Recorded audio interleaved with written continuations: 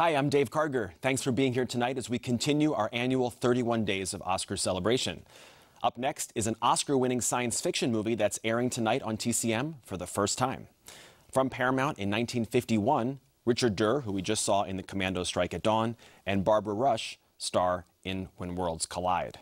As the title implies, the story begins when a scientist, played by Larry Keating, discovers a new planet racing through space and hurtling directly towards Earth.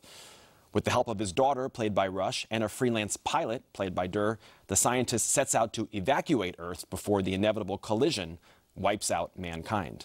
The film was based on a novel published in 1933, and Paramount bought the screen rights in the early 1930s as a project for the visionary director Cecil B. DeMille.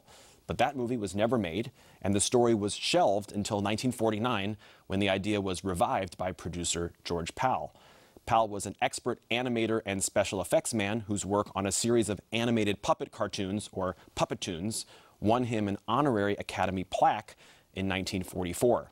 He went on to produce and sometimes direct several films that won the Oscar for Best Special Effects, including the 1953 version of The War of the Worlds, Tom Thumb, the 1960 version of The Time Machine, and the movie that we're about to see.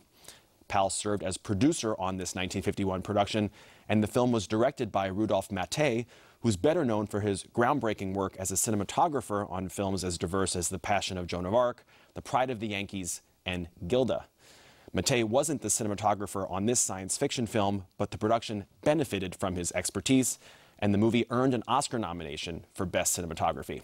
From 1951, the winner of the Oscar for Best Special Effects, When Worlds Collide.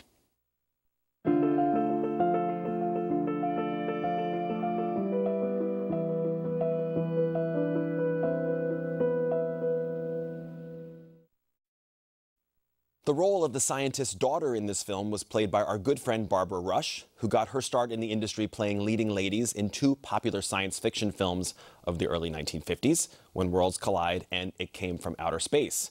She rose to A-list status later in the decade with performances in more prestigious dramas, including The Young Lions and The Young Philadelphians. She also went on to co-star opposite Frank Sinatra in the 1964 gangster musical Robin and the Seven Hoods. Beginning in the 50s, Rush also became a successful television actress, and she spent the next five decades appearing in popular series like Peyton Place, All My Children, and Seventh Heaven. She's still going strong today and is as passionate about movies as ever. By her own account, she goes to the theater to see four movies every week, and she's also an essential member of the TCM community who can be routinely seen at the TCM Film Festival. Last year, I had the pleasure of watching my fellow TCM host, Alicia Malone, interview her before a screening of her wonderful drama, Magnificent Obsession.